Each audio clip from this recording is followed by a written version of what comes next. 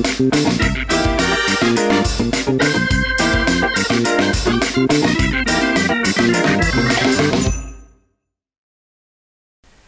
mừng các cụ mợ đã đến với kênh vlog cùng cháu vào bếp. Nối tiếp series các món ăn về ngan. Thì ngày hôm nay nhà cháu gửi đến các cụ mợ một món ăn.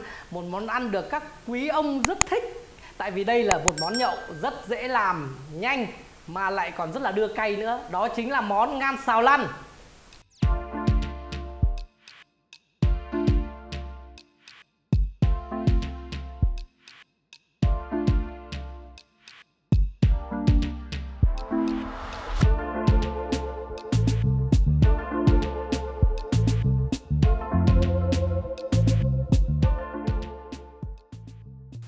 Làm được món gan xào lăn này thì nhà cháu cần 500g thịt ngan đã lọc xương các cụ mợ nhé Tức là ở đây các cụ mợ dùng cho cháu là một nửa con ngan to, Lọc xương đi thì nó có, sẽ còn khoảng độ 500g thịt ngan đi đủ một đĩa to để chúng ta, các cụ mợ nhậu.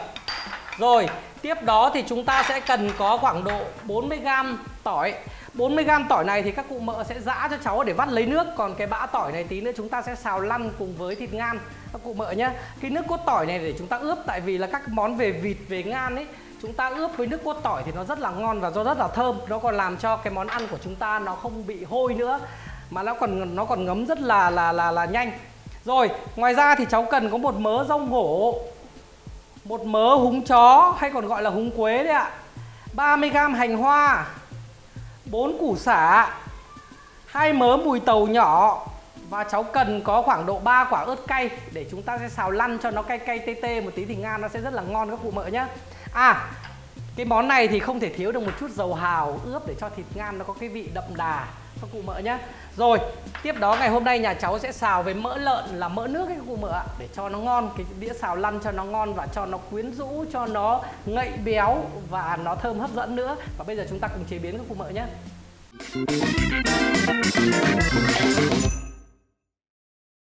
Xả thì chúng ta ở đây có con 4 4 củ các cụ mợ nhé. bốn củ này thì chúng ta sẽ thái lát ba củ và một củ bắp nhỏ để thì chúng ta sẽ ướp vào thịt ngan các cụ mợ nhá. Đây cháu sẽ thái lát ba củ này. Một củ cháu sẽ băm nhỏ nhá. Các cụ mợ bóc cho cháu hết cái phần lá già đi nhá.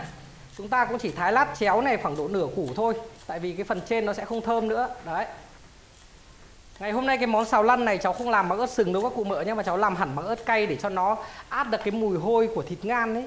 Và nó có cái vị tê tê để cho nó đưa cay hơn các cụ mợ nhá. Đây, xả ba củ thái lát như này. Đấy. Để vào một góc đĩa. Một củ sẽ băm nhỏ để tí nữa chúng ta sẽ ướp vào thịt ngan các cụ mợ nhá.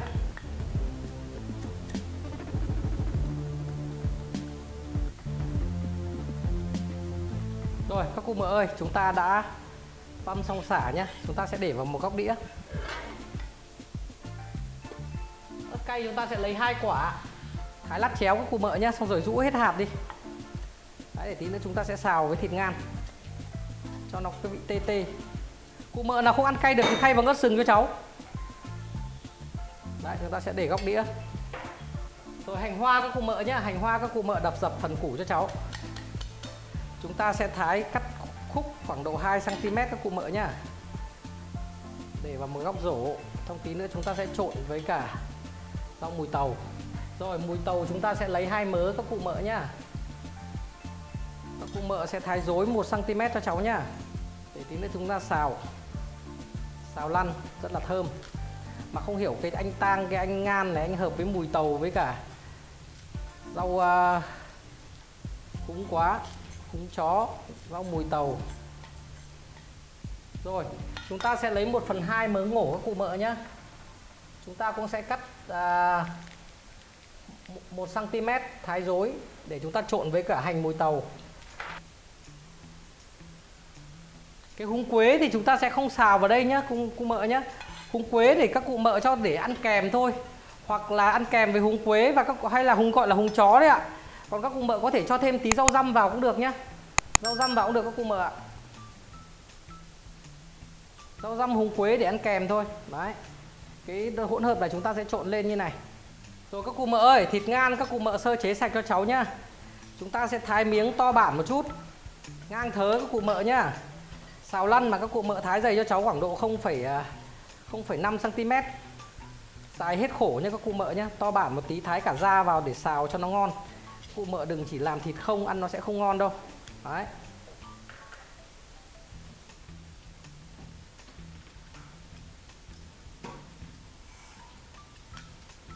Cụ mợ ơi, bây giờ chúng ta sẽ tiến hành tẩm ướp thịt ngan nhé Chỗ này của cháu là nửa cân thịt ngan đã lọc xương rồi đấy. À, như cháu chia sẻ với các cụ mợ Cái ngan này các cụ mợ làm sạch cho cháu ở cái số trước ý. Ngan này, vịt này chúng ta đều làm sạch bằng cách là sát muối rồi là xoa chanh. Sau đó là tẩy lại bằng rượu gừng nhé các cụ mợ nhé. Bây giờ chúng ta sẽ tiện ướp cái thịt ngan này. Vì đây chúng ta sẽ ướp ướp với cả dầu hào nữa Nên là các cụ mợ sẽ không cho gia vị vào đâu nhá. Ở đây cháu sẽ ướp với một thìa cà phê này nửa cân thịt ngan với một thìa cà phê, hạt nêm. Một thìa cà phê mì chính. Một thìa cà phê tiêu. Và nửa thìa canh dầu hào các cụ mợ nhé nửa thìa canh dầu hào sau đó chúng ta sẽ trộn chiếc rồi ướp tiếp sau. Đây nửa thìa canh đi nhá. Đấy. Rồi chúng ta sẽ đảo đều cái hỗn hợp này lên này. Rồi Để cho thịt nó thơm hơn, thơm ngon hơn nhá Thì các cụ mợ cho cháu vào đây một thìa canh rượu trắng nhá Để cho nó tẩy cái mùi hôi của thịt ngan. Đấy, một thìa canh rượu trắng. Bóp tiếp Nó vừa làm mềm thịt Vừa làm cho thịt thơm nữa. Rồi các cụ mợ ơi Tiếp nhá. Chúng ta sẽ cho vào đây một thìa canh nước cốt tỏi giã nhá. Đấy Để làm sao ạ? Thịt ngan, thịt vịt rất hợp với tỏi Nên là chúng ta sẽ ướp tỏi vào đây cho nó ngấm nhanh. Và khi xào nó rất là thơm. Rồi. Chúng ta đã ướp như này xong rồi Bây giờ chúng ta sẽ cho cái phần xả băm các cụ mợ nhá. Cho vào đây để chúng ta ướp cùng cho nó thơm.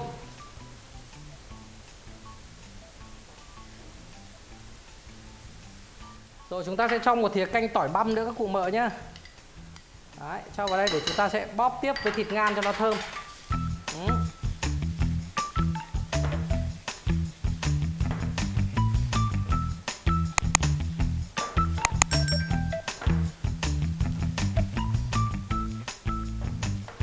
Vì cái này chúng ta ướp bằng nước nên các cụ mợ chỉ để cho cháu từ 20 đến 30 phút thôi nhé, Là thịt ngan sẽ ngấm và rất là thơm rồi. Thế nên là chúng ta sẽ cho ra chúng ta xào luôn các cụ mợ nhá. Ừ, Thơm lắm các cụ mợ ạ. Đấy, đấy là món ngan cháu đã ướp xong này Chúng ta sẽ để ngấm 20 đến 30 phút các cụ mợ nhá.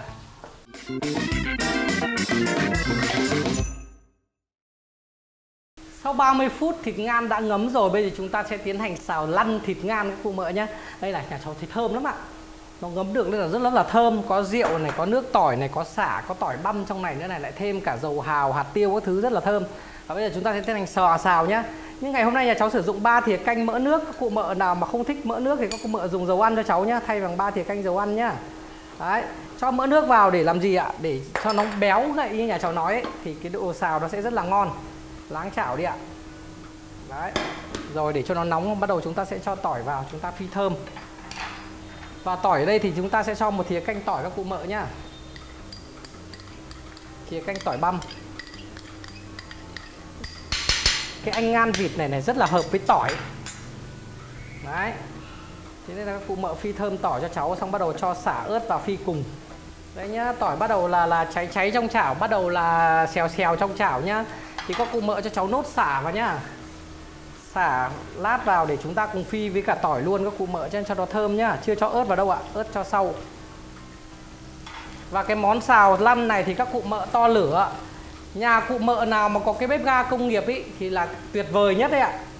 Tại vì là nó sẽ ngan, nó sẽ được xém, nó sẽ bốc xèo xèo trong chảo ấy, bốc lửa xèo xèo trong chảo, nó rất là xém và rất là thơm. Thế còn nhà cháu thì cháu xào bằng bếp hồng ngoại thì cái sản phẩm nó không được như mong muốn đâu. Tức là nó sẽ không được săn, nó không được xém lửa như bếp ga công nghiệp đâu. Nhưng mà thôi, chấp nhận các cụ mở ạ. Tại vì mình ở chung cư mà. Mình ở chung cư không được dùng cấm được cấm được dùng bếp ga công nghiệp, rồi cấm dùng than hoa các thứ. Thế nên là thôi, có đến đâu thì mình làm đến đấy thôi ạ. Cụ cứ phi thơm cho cháu xả, mấy cả tỏi thật vàng lên nhé các cụ mợ nhá.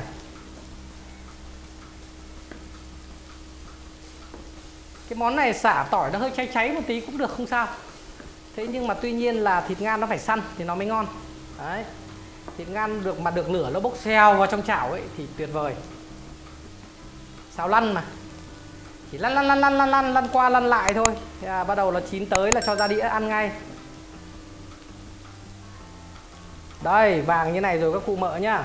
Đây này xả giá như youtube có mùi xả mới tỏi vàng như này rồi nhá các cụ mợ nhá vàng sậm như này này, sậm sậm lên một tí như này này. Đấy, thì bắt đầu chúng ta sẽ đổ chút tất cả thịt ngan vào nhá đấy. Đây này, lúc này mà bếp ga công nghiệp là nó xèo xèo luôn đấy các cụ mợ ạ. Rất là ngon.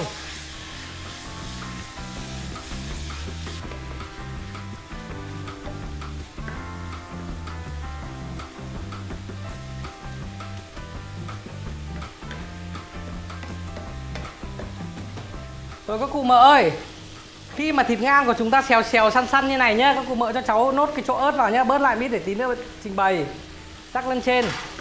Đấy. Rồi, bây giờ chúng ta sẽ cho Các loại rau này vào xong rồi tắt bếp nhé các cụ mợ nhá. Ừ. Tắt bếp luôn. Cái rau này nó chín rất là nhanh, Nên là chúng ta sẽ xào qua thôi. Rồi, bây giờ chúng ta sẽ múc ra đĩa luôn. Đấy, ngan xào lăn nó phải nó phải khô khô như này một tí này. Nhưng mà của cháu thì không được xém như là xào ngoài hàng đâu cô mợ thôi nhưng mà ăn ở nhà cũng ngon.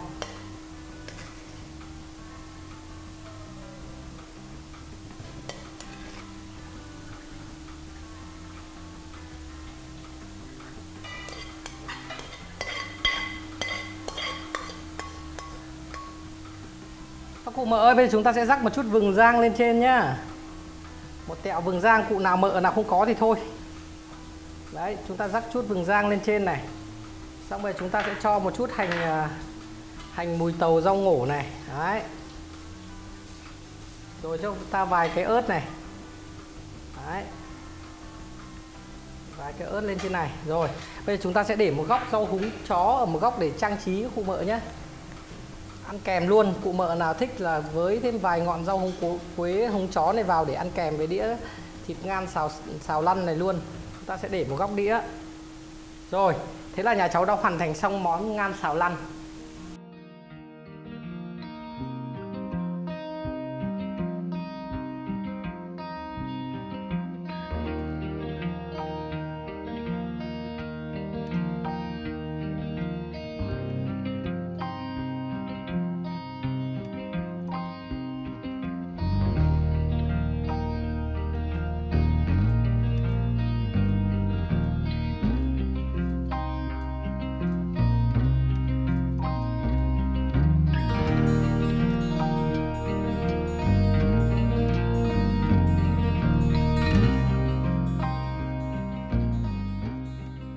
Và bây giờ là tiết mục quan trọng nhất là nhà cháu sẽ ăn thử để giúp các cụ mợ biết được cái yêu cầu cảm quan của cái món năng ngan xào lăn này nhé các cụ mợ nhé. Đây cháu lấy miếng thịt to, thích ăn nhiều thịt.